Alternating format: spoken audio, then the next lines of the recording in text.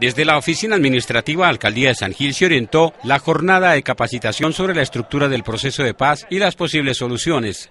Desde cada perspectiva, área del servidor público. Política de desarrollo agrario integral, la segunda solución al problema de las drogas ilícitas, otro ítem sería la participación política, otro sería sobre víctimas, otro, otro sería el fin del conflicto y para el final sería la implementación, verificación y, y refrendación de todo el proceso.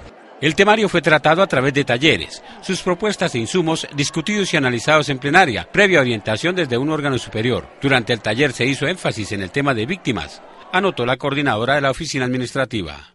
Convocado por, la, por el comisionado de paz, por la, Presidencia de la República, por el Departamento Administrativo de la Función Pública y por la ESAP, pues, para, dirigido para todos los servidores públicos y entonces pues nosotros los empleados de la alcaldía. Por su parte, el vocero del gobierno municipal de San Gil dijo que la administración local se tomó un día especial para hacerse partícipe de las campañas del orden nacional en los temas de paz, instrucción que se dio a funcionarios de planta como a los de OPS, orden de prestación de servicio.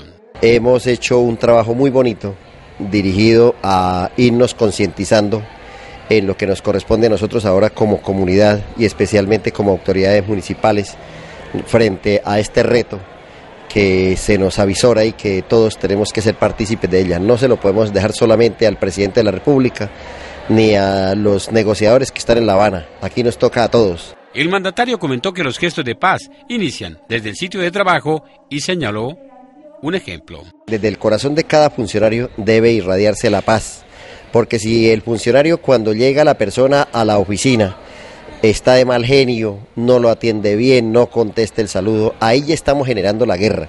Pero si el funcionario cambia, se concientiza de que la persona que llega a, a, solicitar un servicio requiere de una persona dispuesta para atenderla bien, ahí estamos empezando a dar la paz. Por ese motivo es que hemos venido concientizando a los funcionarios de la alcaldía para que ellos cambien y sepan que estar detrás de un escritorio atendiendo a nombre de la administración municipal debe ser para que todo el mundo encuentre en ellos, en cada persona que está sentada en, el escritorio, encuentre un remanso de paz y así también la persona salga también a irradiar la paz.